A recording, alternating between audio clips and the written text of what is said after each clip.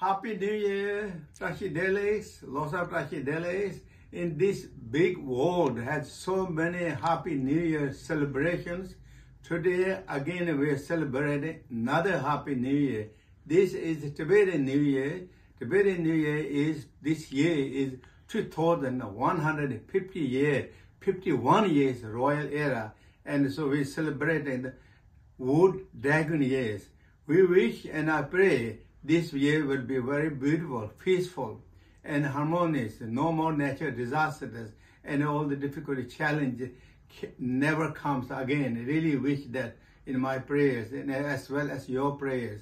And everyone has good health, joy, peace, lot of realizations.